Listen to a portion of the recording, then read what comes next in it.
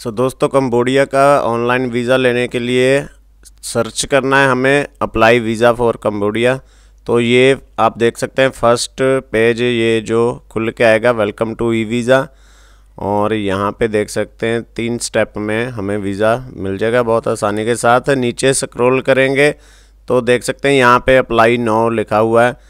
तो यहाँ से भी कर सकते हैं और अगर ऊपर जाएँ एप्लीकेशन एप्लीकेशन में जाएँगे तो यहाँ से भी कर सकते हैं। तो यहाँ से अभी हमें ये जो कैप्चा है इमेज है, इसे टाइप करके अप्लाई नाउ पे क्लिक करना है। तो देख सकते हैं नेक्स्ट पेज हमारा आ गया है। यहाँ पे हमें पासपोर्ट की और ड्रेस की डिटेल भरनी है। और यहाँ पे पासपोर्ट की हमारी जो फ़ोटो है इमेज है, उसे यहाँ पे हमें ऐड करना है। याद रखिए फ़र्स्ट और लास्ट पेज दोनों की एक कॉपी कर लें। तो यहाँ पे ये कह रहा है कि कैन नॉट रीड तो जो एड्रेस है वो रीड नहीं कर रहा है। तो मैनुअली भर दें यहाँ पे एड्रेस और यहाँ पे देख सकते हैं जो रेड कलर है, वो साइज़ नहीं चाहिए, जो ग्रीन है, वो हमें इमेज यहाँ पे ऐड करनी है। 80 परसेंट फेस जिसमें दिख रहा हो और बैकग्राउंड वाइट हो। तो देख सकते हैं यहाँ पे ये मैंने इमेज भी ऐड कर दी है। और यहाँ जेंडर मेल या फीमेल और यहाँ पे अपनी डेट ऑफ़ बर्थ यहाँ पे ऐड करना है हमें। और उसके बाद कंट्री किस कंट्री में बर्थ हुआ है आपका, जो भी है इंडिया पाकिस्तान बांग्लादेश तो मैं यहाँ इंडिया फिल कर रहा हूँ। उसके बाद यहाँ पे नेशनलिटी इंडिया और यहाँ पे रेजिडेंस एड्रेस है अपना और यहाँ पे अपना नेम है, जो आपका पासपोर्ट पे नेम है, वो नेम यहाँ पे आप भर दीजिए, यहाँ पे सर नेम डाल दीजिए। तो उसके बाद यहाँ पे फ़ोन नंबर है मेल आईडी है।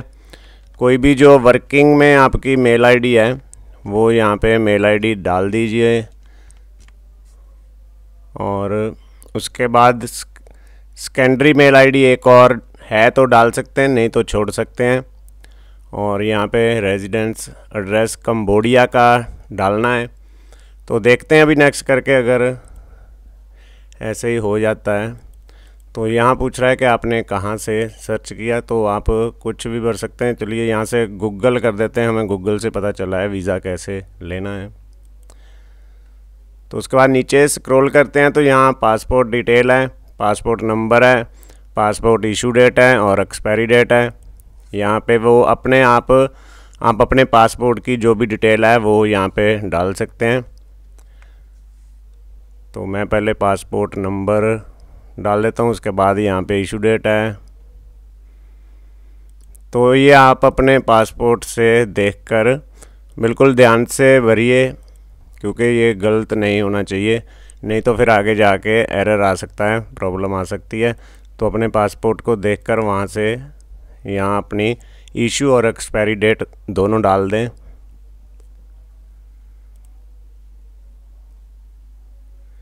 और उसके बाद कंट्री ऑफ़ पासपोर्ट इंडिया है। और यहाँ type of visa visa T T मतलब टूरिस्ट है। थर्टी सिक्स डॉलर है इसके। और यहाँ पे ऑप्शनल है। अगर आपके पास ऐसी कोई भी इंफॉर्मेशन है वैक्सीन की कार्ड या होटल का तो वो भर सकते हैं। नहीं तो छोड़ सकते हैं। और यहाँ पे पर्पज़ है पर्पज़ हमारा टूरिस्ट है। और यहाँ पे लिखा हुआ है कि एंट्री डेट आप किस डेट को एंटर करना चाहते हैं, वो यहाँ पे डाल दें। और देखिए, मैंने अभी दो महीने बाद का डाला था तो ये कह रहा है कि ये date is very long time तो बहुत ज़्यादा पहले हम वीज़ा नहीं ले सकते हैं तो मैं एक महीना पहले का करता हूँ। तो यहाँ पे पोर्ट है, आप बाई लैंड या बाई एयरपोर्ट जैसे भी एंटर करना चाहते हैं, वो सिलेक्ट करके यहाँ से सिलेक्ट कर दें तो मैं बाई लैंड जो बॉर्डर है वो सिलेक्ट करके तो अभी हम एक बार चेक कर लेते हैं, नाम और ये सारा डेट ऑफ़ बर्थ, ये सब सही है। और चेक करने के बाद हम इसे अभी नेक्स्ट करेंगे। तो यहाँ देख सकते हैं, ये अभी सारा हमने फिल कर दिया है। तो नेक्स्ट करने के बाद यहाँ पे दोस्तों फ़ोन नंबर और कम्बोडिया का ड्रेस जो कंपलसरी मांग रहा है तो अगर हमारे पास नहीं है वैसे तो होटल बुकिंग करनी पड़ेगी।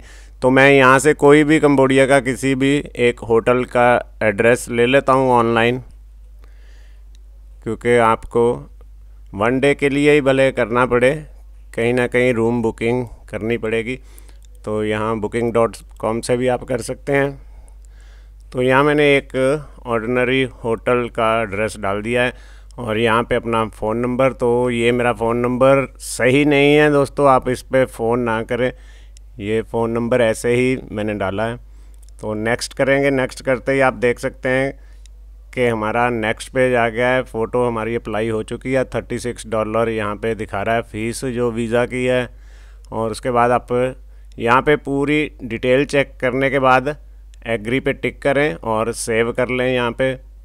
तो बहुत ही आसान है, आप बड़े इजीली वीज़ा अप्लाई कर सकते हैं। तो ये हमारा अभी लास्ट है। तो यहाँ पे देखिए, ये मैसेज है reference number has been send to your primary email address तो एग्री कर दीजिए अलाउ कर दीजिए। और यहाँ से अभी हमें पेमेंट करनी है थर्टी सिक्स डॉलर की।